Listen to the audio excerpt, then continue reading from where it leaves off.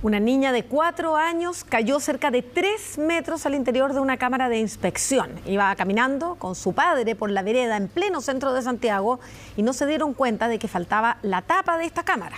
Afortunadamente, su papá junto con transeúntes lograron sacarla del lugar.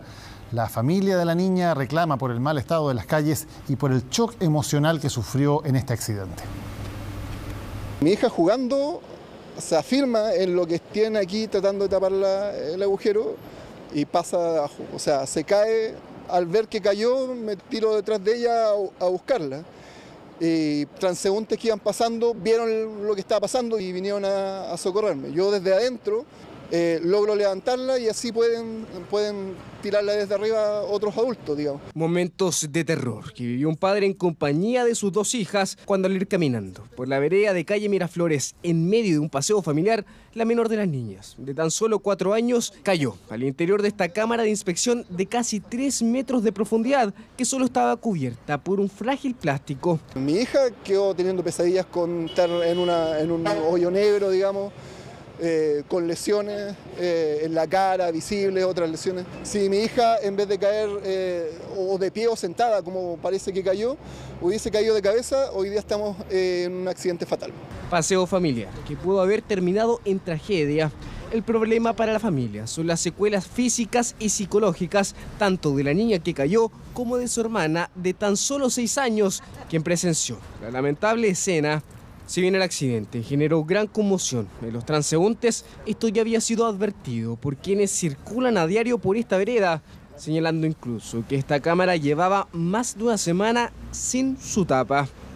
El municipio instruyó verificar en terreno a la unidad de pavimentación el cumplimiento de las obligaciones de la empresa responsable. La municipalidad se pondrá en contacto con los padres para evaluar posibles soluciones o activar el seguro que para estos efectos mantiene contratado el municipio. Situaciones de peligro en las calles. No es la primera vez que ocurren casos de esta índole.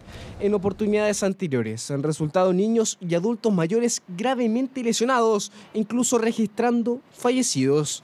En diciembre de 2020, un hombre de 66 años falleció luego de caer un foso de 10 metros de profundidad tras pisar una tapa del cantarillado que se encontraba en mal estado elementos en la vía pública que se convierten en verdaderas trampas para los transeúntes, más aún en lugares tan concurridos como el centro de Santiago, lo cual obliga a la atención de quienes circulan por este sector.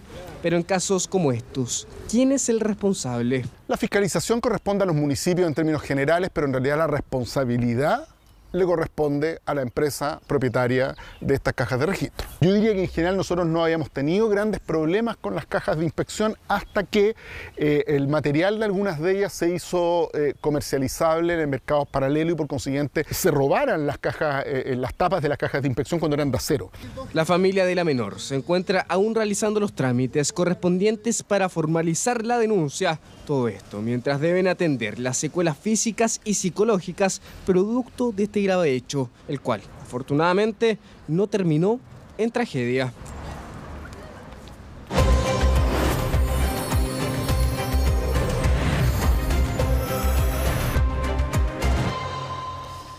Ya estamos en semana de elecciones. Este sábado y domingo se desarrollan los comicios municipales y regionales. Y como siempre ocurre, la comuna de Santiago es la que concentra la mayor atención. Cinco candidatos se disputan ese sillón municipal. Por un lado, la actual alcaldesa, Iracy Hasler, busca mantener la alcaldía, mientras en la otra vereda, el exministro Mario Desbordes aparece como la principal carta de la oposición. Ambos nos contaron sus expectativas en la recta final de sus campañas.